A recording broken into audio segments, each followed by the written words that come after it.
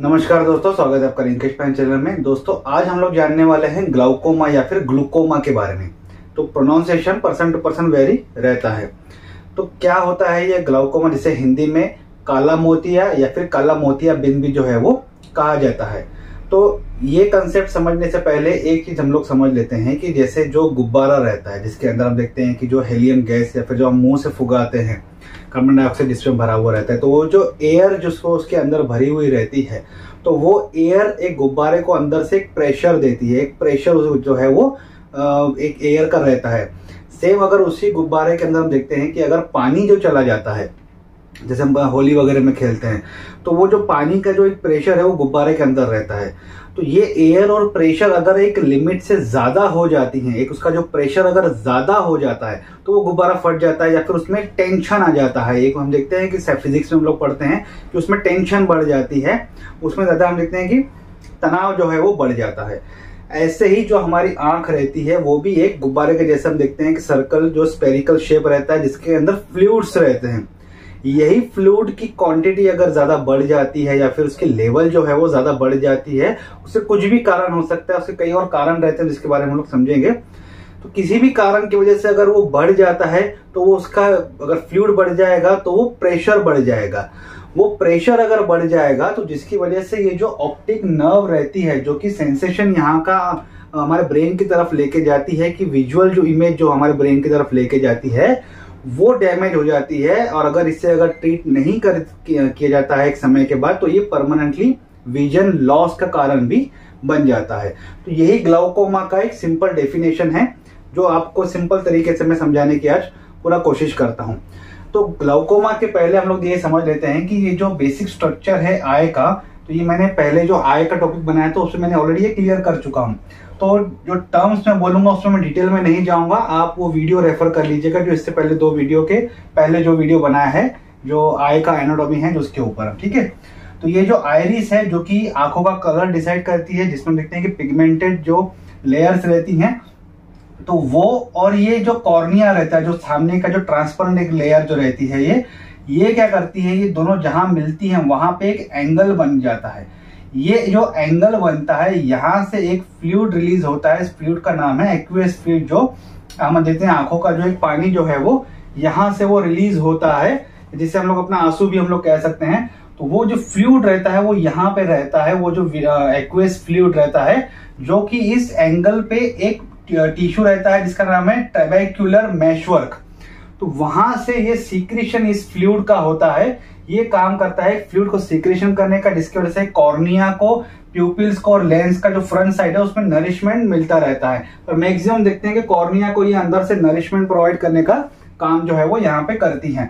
तो ये जो एंगल है, यहाँ पे ये जो सेल है, उसे कहा जाता है ट्रेबेकुलर मैशवर्क तो ये जो फ्लूड है, इस फ्लूड का जो एक बैलेंस है वो मेंटेन होना ज़रूरी है। तो इसकी वजह से दो चीज़ें प्रॉपर तरीके से होना चाहिए। एक तो सीक्रेशन बराबर होना चाहिए और सीक्रेशन होने के बाद जो ड्रेनेज होता है, जैसे हम आँखों में पानी, जैसे वो तो निकलता है या रोते हुए जो निकलता है तो वो ड्रेनेज होता है, वो ड्रेनेज और सीक्रेशन, ये दोनों का एक बैलेंस मेंटेन होना चाहिए। तो ही हम देखते हैं कि आँखों का जो ये फ्लूड का जो प्रेशर है, वो प्रॉपर तरीके से मेंटेन होता है। ये अगर किसी कारण से अगर डिस्टर्ब होता है तो प्रेशर बढ़ जाता है ऑप्टिक नर्व जो है वो डैमेज हो जाती है विजन लॉस हो जाती है। तो यही ग्लाउकोमा का सिंपल कंसेप्ट है। ठीक है? ऑप्टिक नर्व डैमेज हो जाती है from fluid build by buildup in their eye left untreated lead to permanent vision loss अगर इसे ट्रीट नहीं किया जाता है समय से तो ये विजन लॉस हो जाती है। Glaucoma group of eye condition है। ग्रुप ऑफ़ आई कंडीशन इसमें कई चीज़ें हम देखते हैं कि डिस्टर्बेंस होती है। आँखों में, जिसकी वजह से बाद में फिर एक परमानेंट आई विजन जो है वो लॉस हो जाती है। ठीक है? ये एक एज रिलेटेड इशू है। मतलब आप देखेंगे कि 50-55 साल के बाद ही आपको देखने को मिलेगा कि इस तरीके की जो कंडीशन है, वो लोगों को देखने को मिलती है। तो ये एज रिलेटेड है, यानी कि बहुत ही कम है, जो कि कम एज में या फिर न्यूबॉर्न बच्चों में जो है वो देखा जाता है, क्योंकि कुछ हिस्ट्री रहती है। आगे समझेंगे। तो मैक्सिमम ये इस कंडीशन को कहा जाता है एज रिलेटेड मतलब पचपन साठ साल के या पचास साल के ऊपर के लोगों में इस तरीके की कंडीशन जो है वो ज़्यादातर देखने को हमें मिलती है। ठीक है? अब इसके जो कई टाइप्स हैं वो देख लेते हैं पहले कि टाइप ऑफ़ ग्लाउकोमा ग्लाउकोमा या फिर ग्लूकोमा तो इसका पहला जो है ओपन एंगल ग्लाउकोमा है। ठीक है? ये सबसे ज़्यादा कॉमन है। ग्लूकोमा का सबसे ज़्यादा कॉमन टाइप जो है ये ओपन एंगल ग्लाउकोमा है। इसमें क्या होता है? Angle remain open but the drainage system not work properly leads to the increase in pressure यहाँ से ड्रेनेज तो प्रॉपर हो रहा है, इसमें कोई प्रॉब्लम नहीं है। लेकिन जो यहाँ से सॉरी जो सीक्रेशन हो रहा है एंगल से, यहाँ से जो सेल्स का, वो प्रॉपर तरीके से हो रहा है। लेकिन ड्रेनेज नहीं हो रहा है मतलब बाहर जो है वो फ्लूड नहीं जा रहा है, जो फ्लूड का जो बैलेंस होना है, इसकी वजह से डिस्टर्ब हो जाता है और जो आँखों का प्रेशर जो है वो बढ़ जाता है, जिसकी वजह से ऑप्टिक नर्व डिस्टर्ब हो जाती है। ठीक है, ये सबसे ज़्यादा कॉमन जो है वो ये माना जाता है। दूसरा एंगल क्लोजर ग्लाउकोमा या फिर इसे एक्यूट एंगल क्लोजर ग्लाउकोमा भी कहा जाता है। ठीक है?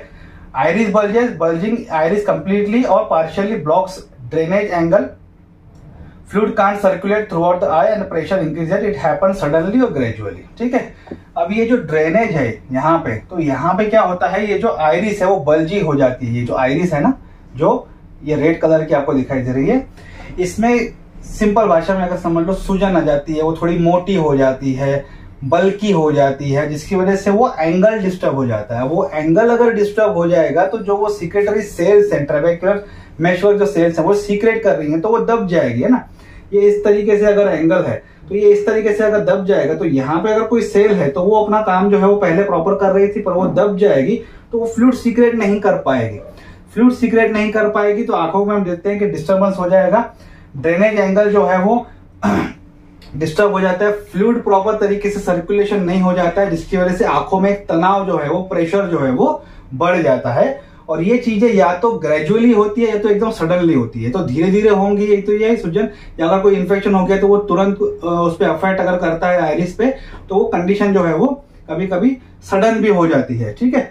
नॉर्मल टेंशन ग्लाउकोमा इसका रीजन अननोन है ऑप्टिक नर्व डैमेज होती है। When eye pressure is normal limited blood flow में reason that is a blockages ठीक है? अब मैंने जैसे कहा कि प्रेशर बढ़ जाता है तो ऑप्टिक नर्व डैमेज हो जाती है।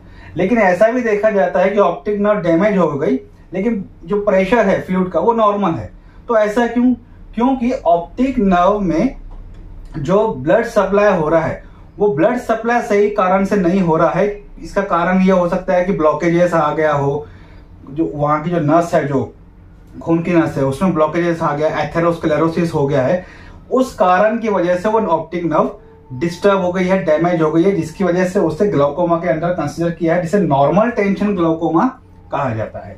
ठीक है? तो ज़्यादा जो हैवी ऑयली फेड्स या फिर आ, हम देखते हैं कि आ, जो एथेरोस्क्लेरोसिस हो जाता है जो ब्लॉकेजेस हो जाता है इसकी वजह से आँखों में प्रॉपर ब्लड सर्कुलेशन नहीं पहुँच पाता है इसकी वजह से वो नर्व डैमेज हो जाती है। ग्लाउकोमा इन चिल्ड्रन चिल्ड्रन में भी देखा जाता है। इनबॉर्न या तो इनबॉर्न रहेगा, या तो कुछ सालों के बाद वो डेवलप होगा। Develop in few years block drainage ये जो ड्रेनेज जो है वो, यहाँ का, उसे ब्लॉक कर देता है, जिसकी वजह से या तो कोई किसी कारण से अगर कोई इंजरी हुआ है, कोई मेडिकल ट्रीटमेंट अगर हुई है तो उस कारण की वजह से क्या होता है कि ये जो ड्रेनेज सिस्टम है, वो ब्लॉक हो जाता है और वो जो ग्लाउकोमा की जो कंडीशन है, वो बच्चों में देखने को मिलती है। ठीक है? ये इसलिए इसे ग्लाउकोमा इन चिल्ड्रन कहा जाता है। पिगमेंटेड ग्लाउकोमा मतलब क्या? कि जो आयरिस है उसमें पिगमेंटेड सेल्स रहती हैं ठीक है? तो small pigment granules flakes off from iris and block और slow the fluid drainage from eye मान लीजिए कि जो आयरिस है आयरिस में जो पिगमेंटेड सेल्स uh, रहती हैं तो क्या होता है? कभी कभी ओवर एक्साइटमेंट या फिर ओवर स्टिमुलेशन की वजह से वो पिगमेंट्स क्या रहती हैं? वो ज़्यादा हो जाती हैं। तो उसकी वजह से क्या होते हैं? उसके जो फ्लैक्स रहते हैं उसके जो छोटे छोटे टुकड़े रहते हैं वो टूट के वहाँ पे गिरना शुरू हो जाते हैं तो फ्लैक्स बनना शुरू हो जाते हैं। जिसकी वजह से जो फ्लूड है, वो प्रॉपर तरीके से मूव नहीं हो पाता है, जो ये एक्वेस फ्लूड है। वो प्रॉपर तरीके से उसे एरिया नहीं मिलता है फ्लूड को जो मूवमेंट के लिए या उसे प्रेशर मेंटेन करने के लिए, जिसकी वजह से आँखों का प्रेशर जो है वो बढ़ जाता है उस पिगमेंट की वजह से। ये कभी कभी देखा गया है कि जो लोग ज़्यादा जॉगिंग करते हैं, जो ज़्यादा जॉगिंग करने की वजह से उनका पिगमेंट जो है वो काफ़ी ज़्यादा स्टिमुलेशन होता है, क्योंकि ज़्यादा एक्सपोजर रहता है। तो पिगमेंट ज़्यादा स्टिमुलेट हो जाते हैं। इसकी वजह से वो फिर पिगमेंट के फ्लैक्स जो है, वो उनमें देखने को मिलते हैं। इसका मतलब ये नहीं कि आप जॉगिंग या हेल्थ का ध्यान मत रखिए, पर ऐसा एक स्टडी में ये देखा गया है, इसलिए ऐसे ऐसा बताया गया है। ठीक है? अब रिस्क फैक्टर क्या क्या है, पहले वो समझ लेते हैं। Glaucoma affects eye vision before notice of any symptoms symptoms पता होने के पहले ही आपको ग्लाउकोमा अटैक जो है, वो कर लेता है। इसीलिए कुछ फैक्टर्स हैं, अगर आप उसे ध्यान में रख के अगर चलते हैं तो आप उसको प्रिकॉशन भी कर सकते हैं प्रिवेंशन कर सकते हैं। जैसे कि ये जो कुछ रिस्क फैक्टर है, वो कौन से कौन से हैं? High internal eye pressure known as intraocular pressure आँखों में जो प्रेशर बढ़ जाता है, जिसे इंट्राओक्यूलर प्रेशर कहा जाता है, वो बढ़ जाना एक प्रकार का रिस्क फैक्टर है, जिसकी वजह से किसी भी कारण की वजह से अगर प्रेशर वो आँखों में से तनाव महसूस होता है तो आपको तुरंत जो है वो आई स्पेशलिस्ट से बात करके उसे नॉर्मलाइज करना ज़रूरी है। एज ओवर 55 पचपन साल के आसपास है तो रिस्क फैक्टर है कि आपको ग्लोकोमा होने के चांसेस रह सकते हैं। ब्लैक और एशियन हेरिटेज स्किन अगर किसी का काला है या फिर जो एशियन साइड के जो लोग हैं, उस उन लोगों में ज़्यादा देखने को मिलता है। फैमिली हिस्ट्री ऑफ़ ग्लाउकोमा आपके हिस्ट्री में माता पिता दादाजी को, किसी को भाई बहन को अगर हिस्ट्री रही है ग्लाउकोमा की पहले तो उनमें ये होने का चांसेस ज़्यादा रहता है। जेनेटिकली ट्रांसफ़र ये होता है। मेडिकल कंडीशन जैसे कि अगर आपको डायबिटीज़ है, माइग्रेन है, हाई ब्लड प्रेशर है, सिकल सेल एनीमिया है तो ऐसी कंडीशन अगर आपको है तो आपको अपना आई चेकअप जो है वो रेगुलर करना चाहिए, क्योंकि ये एक रिस्क फैक्टर हो जाता है ग्लाउकोमा के लिए। थिन कॉर्निया फ्रॉम सेंटर, जो कॉर्निया है ये ये अगर बीच के एरिया से अगर ये थोड़ी पतली है तो इसकी वजह से भी जो प्रेशर है वो बढ़ने का चांसेस रह जाता है, क्योंकि फ्लूड की जो एरिया जो है वो बढ़ जाती है, जिसकी वजह से बाकी पोर्शन पे प्रेशर बढ़ जाता है। एक्सट्रीम नियर साइटनेस और फोर साइटनेस देखिए, ज़्यादा किसी को दूर का ना दिखना या ज़्यादा किसी को पास का ना दिखना, ये भी एक तकलीफ़ है या फिर एक रिस्क फैक्टर है जिसकी वजह से आपको ग्लोकोमा होने के चांसेस रहते हैं। आई इंजुरी सर्टन कोई सर्जरी आपने कुछ करवाई है, कुछ इंजुरी लगी है, खेलते वक्त चोट लग गया बॉल लग गया, पत्थर लग गया, कुछ भी लग गया है, उसके कारण भी हो सकता है।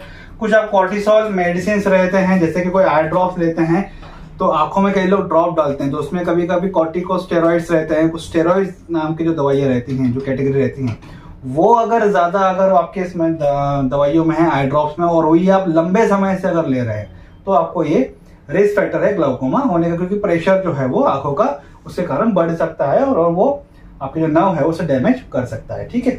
अब कॉजेज रहते हैं कॉजेज जो रहेगा वो इसके जो कैटेगरी है, उसके हिसाब से रहेगा। तो सबसे पहला वाला यहाँ पे है open angle glaucoma open angle glaucoma के कॉजेज क्या है वो देख लेते हैं। इसमें कोई सिम्टम नहीं रहता है अर्ली स्टेज पे। ग्रेजुअली जो कुछ पैचेस हैं वहाँ पे बनना शुरू हो जाते हैं और बाद में जो है एक डिफिकल्टी हो जाती है विजन में। यहाँ मतलब धीरे धीरे आपको इसका जो ग्रेजुअली जो है वो इंक्रीज होता है। शुरुआत में इसके सिम्टम दिखते नहीं है। ग्लाउकोमा जो कि सबसे ज़्यादा कॉमन जैसे मैंने कहा था, बताया गया था। बाद में इसके पैचेस बनना शुरू हो जाते हैं। कुछ आपको दिखना शुरू होता है कि थोड़ा सा मुझे तकलीफ़ हो रही है देखने में। थोड़ा सा विजुअल आपको अफेक्ट होगा। और अगर आप उस वक्त अगर ट्रीटमेंट कर लेते हैं तो ठीक है, अगर नहीं करते हैं तो फिर बाद में ये विजन लॉस भी करवा देता है। दूसरा है एंगल क्लोजर ग्लाउकोमा या फिर एक्यूट एंगल क्लोजर ग्लाउकोमा इसमें क्या होता है? सीवियर हेडेक होगा आई पेन होगा नोशिया वॉमिटिंग होगा। सर दर्द काफ़ी दुखेगा नोशिया वॉमिटिंग होगा आपको। आँखों में हम देखते हैं काफ़ी ज़्यादा आपको पेन या खिंचाव जो है ज़्यादा होगा। ब्लड विजन धुंधला दिखाई देगा। हेलोस या फिर colour ring around the light मतलब क्या होता है? जैसे कि ये कोई लाइट हम देख रहे हैं, ठीक है? ये अगर कोई लाइट अगर मैं देख रहा हूँ, आप कभी ऑब्ज़र्व कीजिएगा उसके सामने आपको अगर इस तरीके से एक सर्कल अगर दिखाई दे रहा है है ना? उसकी रोशनी का प्रभाव का, जैसे हम लोग कोई महाभारत का सीरियल देखते तो पीछे से जो चमक आती थी तो वो लाइट और उसके बाजू में अगर आपको एक एक्स्ट्रा सर्कल जो चमक की अगर दिखती है तो कलर हो या फिर ट्रांस जो है जो एक हेलोज दिखता है, थोड़ा सा एक जूम करके जैसे हम देखते हैं तो इस तरीके का अगर आपको दिखाई दे रहा है तो ये भी एक चांसेस है ग्लाउकोमा का तो आपको ट्रीटमेंट करवा देना चाहिए। आई ड्राइनेस है बार बार जैसे इसकी वजह से जो है वो आपको आई ड्राइनेस का जो है वो महसूस होगा। ये एक्यूट एंगल की वजह से क्यों? क्योंकि ये बल्जी आयरिस हो जाता है जिसकी वजह से फ्लूड का सीक्रेशन सही तरीके से नहीं होता है तो वो आँखों में ड्राइनेस की वजह जो, जो कारण जो है वो बन जाता है ठीक है? तीसरा जो टॉपिक है, ये जो नॉर्मल टेंशन ग्लोकोमा इसके जो सिम्टम्स हैं, ये जो कॉजेस हैं, वो सेम जो हैं, वो पहले पॉइंट के जैसे मतलब इसके जो कॉजेस है, वो जो धीरे धीरे देखने को मिलते हैं, या फिर शुरुआत में दिखने को नहीं मिलते हैं बाद में पैचेस बनना शुरू होता है, बाद में फिर कंप्लीटली विजन लॉस हो जाता है. चौथा, बच्चों में जो ऐसा इन्फंट्स में, यानी कि जो बच्चों में जो ग्लाउकोमा होता है तो उसमें अगर इन्फंट्स में अगर देखते हैं तो डल और क्लाउडी आय रहती है जैसे धुंधली जैसे दिखेगी आपको थोड़ी सी मैली जैसी आँखें जो है वो आपको देखने को मिलेगी बच्चों की। इनिशियल एज में जो छोटे बच्चे रहते हैं, ठीक है? इंक्रीज ब्लिंकिंग काफ़ी ज़्यादा वो ब्लिंकिंग करेंगे, आग ज़्यादा फड़फड़ाएँगे, ठीक है? टीयर्स विदाउट क्राइंग आँसू आते बैठा है, कुछ खेल रहा है तो भी उसके आँसू बहते जा रहे हैं। ना वो रो रहा है, ना वो हंस रहा है, ना कुछ तो भी उसके आँसू या फिर पानी जैसे हम कहते हैं, बहता जा रहा है। ब्लड विजन धुंधली vision nearsightedness get worse and headache नज़दीक की नज़र उनकी जो है वो खराब होती जाएगी और हेडेक जो है वो उनको ज़्यादा रहेगा, काफ़ी ज़्यादा वो रोते रहेंगे हेडेक जो उनको रहेगा।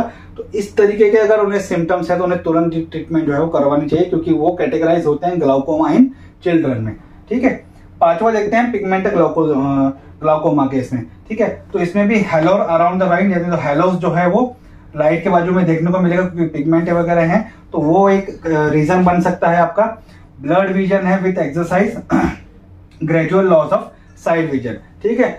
जैसे वो एक्सरसाइज करते जाएँगे, जैसे मैंने आपको पहले बताया था कि पिगमेंटेड वगैरह जो ये रहते हैं, ज़्यादा जॉगिंग और ये वगैरह इसके बाद तो जैसे ही वो वॉकिंग या जॉगिंग एक्सरसाइज ज़्यादा करते हैं, उसके बाद अगर उन्हें ज़्यादा ब्लड विजन लग रहा है, धुंधला दिख रहा है लाइट के बाजू में हेलोस वगैरह जो है वो हेलोस जो एक टर्म दी गई है, वो अगर आपको ज़्यादा दिखाई दे रहा है तो इसकी वजह से क्या होगा कि आपको ये पिगमेंटेड ग्लाउको ग्लाउकोमा की कैटेगरी में जो आप गिने जाएँगे।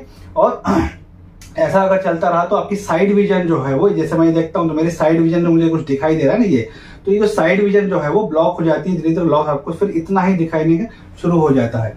तो धीरे धीरे ये चीज़ें बढ़ती हैं, अगर ये हेल्थ से रिलेटेड इशू है तो इसका हम प्रिवेंशन क्या कर सकते हैं, फिर इसको जान कैसे सकते हैं? सबसे पहली बात, रेगुलर आई एग्जामिनेशन। हर महीने, मैं, कई लोग कहते हैं कि पाँच छह महीने में या ये करना चाहिए। तो हर महीने में अगर आपका कोई कंसल्टेंट है तो सिर्फ़ एक मिलकर आ जाइए। सौ, दो सौ, डेढ़ सौ रुपए लेगा या ढाई सौ रुपए लेगा, पर आपको ये पता रहेगा, अगर वो कहते हैं आपको कि तीन महीने में आइए, छह महीने में आइए दैट इज़ डिफरेंट थिंग कि भाई आप फिर तीन महीने में, छह महीने में उसे रेगुलर एक विज़िट देते रहिए, अगर आपका सब कुछ नॉर्मल चल रहा है तो। तो छह छह महीने का भी अगर आप एक बना लेते हैं, कि भाई मैं हर छह महीने में एक रेगुलर सिर्फ़ आँखों का चेकअप करवा जाएँगे। तो क्यों, क्या होता है कि जो पाँच सेंसेस हैं, उसमें से सबसे इंपॉर्टेंट ये है हमारे आँखें, क्योंकि आँखों से ही हम लोग सब चीज़ें जो है वो देख पा रहे हैं और इस दुनिया को समझ पा रहे हैं। तो उसका ख्याल रखना हमें काफ़ी ज़रूरी है। Know your family eye history अपने घर में ये पता कीजिए, किसी को ग्लाउकोमा हुआ है किसी को कैटरेक्ट हुआ है या ऐसी कोई कंडीशन हुई हैं तो आँखों से रिलेटेड तो वो आपको समझना ज़रूरी है। अगर किसी को है तो फिर आप अपना चेकअप जो है वो थोड़ा सा बढ़ाइए। और एज जैसे बढ़ती जाती है चेकअप का समय उसे थोड़ा सा रेगुलरिटी जो है वो उसे बढ़ाते जाइए। वी आर आई प्रोटेक्शन कुछ काम कर रहे हैं, बाहर जा रहे हैं, धूल मिट्टी है तो हमेशा स्पेक्स पहनना हेलमेट को पूरा प्रॉपर कवर करके रखना। और जितना हो सके प्रोटेक्शन लेना कोई अगर आप स्पोर्ट्स में कोई खेल रहे हैं, इंजुरी ना हो आँखों को तो इस तरीके के जितने प्रोटेक्शन चीज़ें रहती हैं, वो सब आपको कैरी करनी है और ताकि आपके जो आँखें हैं वो डैमेज ना हो सके। ठीक है? Take the prescribe eye drops किसी के कहने से कई लोग कहते हैं कि यार मैंने वो आई ड्रॉप लिया था तो मेरी आँखों में थोड़ा सा रिलीफ मिल गया। अरे भाई, तूने लिया था और तुझे रिलीफ मिला है, तूने कंसल्ट करके लिया है। मैं तेरे कहने पे क्यों लू? मेरा काम है कि मैं भी कंसल्ट करूँ डॉक्टर को दिखाऊँ, मेरी तकलीफ़ क्या है और मेरे तकलीफ़ के हिसाब से मैं कुछ कुछ डायबिटीज़ है, मुझे कुछ कोई और तकलीफ़ है तो मैं कंसल्ट करूँगा ना डॉक्टर से। तो यही थॉट होना चाहिए कि डॉक्टर से ट्रीटमेंट लेना है कंसल्ट करना है, अपनी कंडीशन बतानी है, वो हर चीज़ देखेंगे। उसके बाद ही हमें ट्रीटमेंट लेना है और आँखों के साथ मज़ाक नहीं करना है। ठीक है? तो ये सब चीज़ें हैं ग्लाउकोमा के बारे में, काला मोती के बारे में या फिर काला मोतिया बिंद के बारे में। सिंपल तरीके से मैंने कोशिश किया कि आपको ये जो बेसिक चीज़ें हैं वो आपको क्लियर हो जाए। आई होप आपको आज का टॉपिक अच्छा लगा होगा। वीडियो अच्छा लगे तो लाइक और शेयर ज़रूर कीजिएगा। अगर आपको कमेंट है तो कमेंट बॉक्स में कमेंट कर सकते हैं और मुझे उस चैनल को सपोर्ट करने के लिए प्लीज़ सब्सक्राइब कीजिए। Thank you